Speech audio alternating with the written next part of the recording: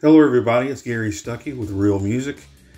Well, the rumors are true. John Five is now the official guitar player, the touring guitar player, that is, for Motley Crue, taking Mick Mars's place. And it, it was announced today officially. Let's check out this statement from Motley Crue. It says, While change is never easy, we accept Mick's decision to retire from the band due to the challenges with his health. We have watched Mick manage his ankylosing spondylitis for decades, and he has always managed it with utmost courage and grace. To say enough is enough is the ultimate act of courage. Mick's sound helped define Motley Crue from the minute he plugged in his guitar at our very first rehearsal together. The rest, as they say, is history.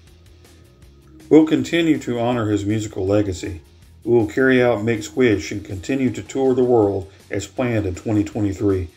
No doubt will it take an absolutely outstanding musician to fill Mick's shoes, so we are grateful that our good friend John Five has agreed to come on board and join us moving forward.